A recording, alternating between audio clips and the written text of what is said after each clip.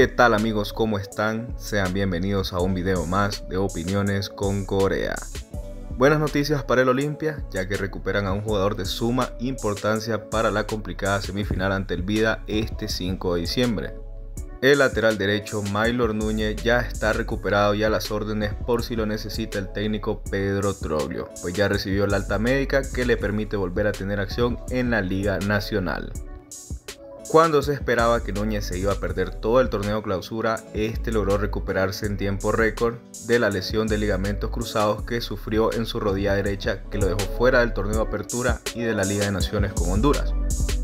El jugador de 25 años se suponía estaría 6 meses de baja, sin embargo su recuperación fue tan satisfactoria que lo hizo en 5 de ellas tras su operación en junio.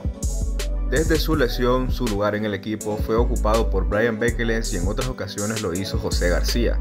El jugador estuvo durante cuatro semanas haciendo trabajos intensivos en zonas específicas para acelerar su pronto regreso ya que Olimpia ha perdido mucha profundidad por ese sector desde su lesión, por lo que seguramente Troglio recupera a una pieza importante.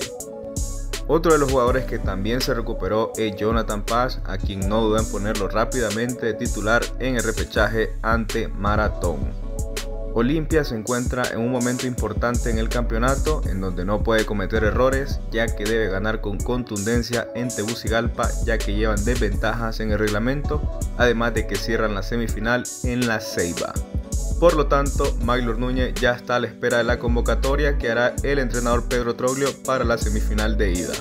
Y bueno amigos, hasta aquí el video de hoy. No olvides suscribirte a nuestro canal, déjame tu like y nos vemos en un próximo video.